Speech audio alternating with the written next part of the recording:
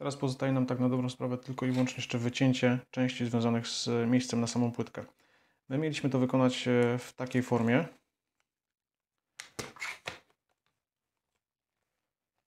Tak, tutaj. Także to, co ja sobie zrobię, to oznaczę sobie, w którym miejscu miały być wykonane same cięcia, w sensie ten brzeg. Natomiast to, co zauważyłem, że warto zrobić, to to, żeby samo to nacięcie wykonać w taki sposób, żeby było to możliwie ciasne, ponieważ zawsze można to delikatnie dociąć, e, jeżeli byłoby tego miejsca wyciętego zbyt mało. Natomiast zostawienie zbyt dużych luzów będzie powodowało, że ta płytka będzie po prostu latać. Także lepiej to nawet e, zrobić z samą płytką, mimo tego, że to jest nacięte, w sensie zrobić sobie samo nacięcie w ten sposób. I zaznaczyć sobie nawet ślady samym nożykiem, żeby to miejsce było możliwie precyzyjnie e, zaznaczone. No i podobnie w ten sposób tutaj. Także w tym momencie mając tutaj te, te ślady po, po nożu już precyzyjnie e, zrobione, można sobie to po prostu delikatnie naciąć. Podobnie tutaj. I tu. Warto uważać, żeby tego, żeby tego przewodu tutaj jeszcze nie, nie przeciąć. Natomiast jeżeli chodzi o samo wykonanie tego cięcia, to tutaj nie ma większego problemu. No i warto pamiętać, że samo cięcie wystarczy zrobić do tej, do tej głębokości, także nie trzeba obcinać całości. Powinno się tutaj bez problemu zmieścić w tej formie.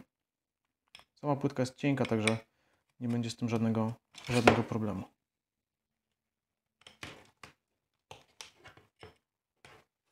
Mamy jedną część wyciętą. Teraz tutaj wystarczy wyciąć to tak naprawdę na grubość samej, e, samej płytki, to jest około 0,8 mm Także nie ma tutaj żadnego powodu, żeby cięć, e, te cięcie było tutaj grubsze. Nie ma się co spieszyć, bo też nie ma sensu wycinać zbyt dużo tego podkładu, żeby nie było to specjalnie gdzieś tam widoczne.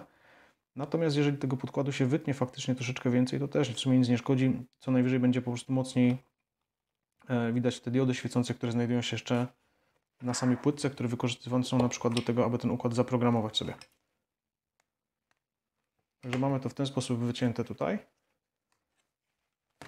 No i możemy sobie przymierzyć samą płytkę w tej chwili, czy to będzie tutaj dobrze pasowało. Powinno wejść na styk. Bez żadnego problemu. Także jest to dokładnie wykonane. A ja i tak sobie to spróbuję tutaj za chwilkę jeszcze podkleić. Także to, co nam zostało tutaj do zrobienia, to jeszcze po prostu e, przylutowanie przewodów. Ja chciałbym je zrobić w taki sposób, żeby je zmieścić tej części, czyli mniej więcej tak. Wydaje mi się, że bez problemu powinno się tutaj udać.